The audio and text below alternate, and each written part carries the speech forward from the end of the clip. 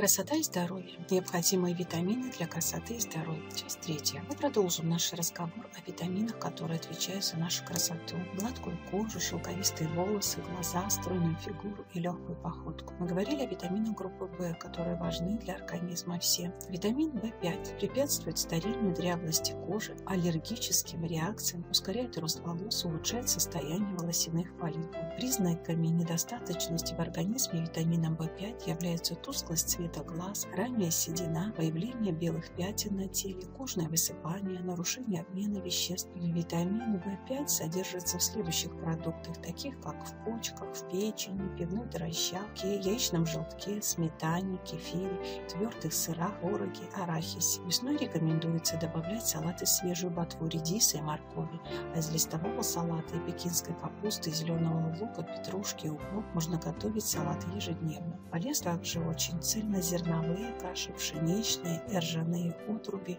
овсяные мюсли. О других витаминах вы можете узнать в следующем видео. Нажимайте на кнопку, подписывайтесь на канал. Если вам понравилось видео, вы знаете, что нужно сделать.